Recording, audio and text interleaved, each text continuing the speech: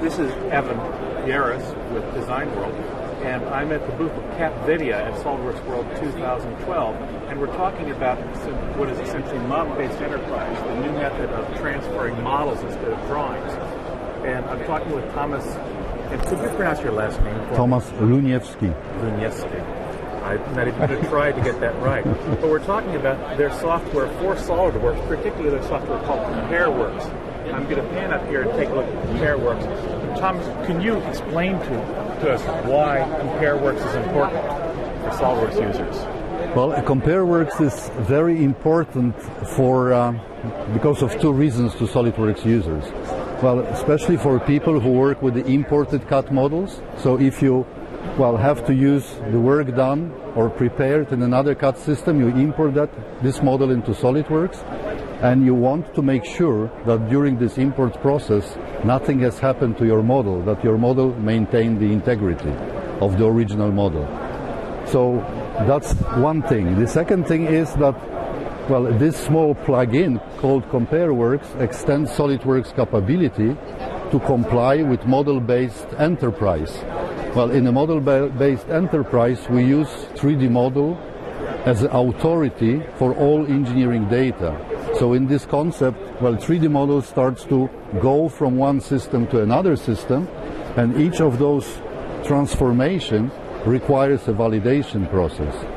So, uh, well, integrating this uh, CompareWorks into SolidWorks makes actually SolidWorks compatible as a CAD system compatible fully with the requirements of model-based enterprise.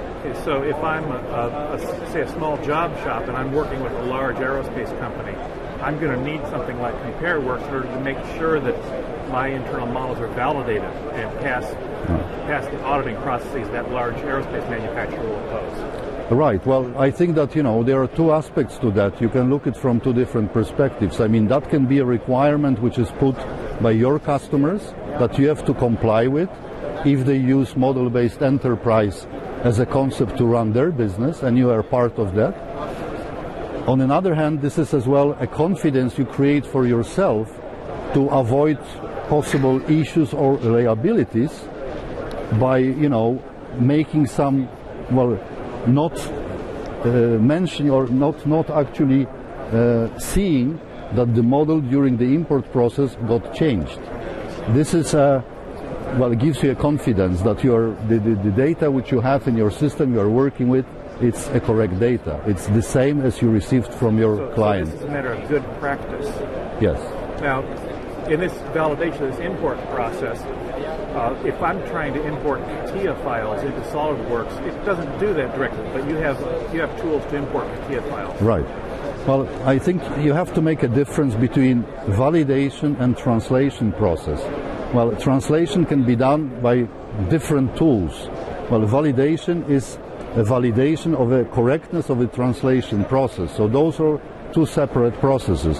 And of course, we provide some special tools which allow you to import the CAD models in a formats which are not supported in SolidWorks. This product is another plugin which we offer for, for, for our users. Well, thanks for taking the time to explain this, and I hope the show works well for you. Well, thank you very much.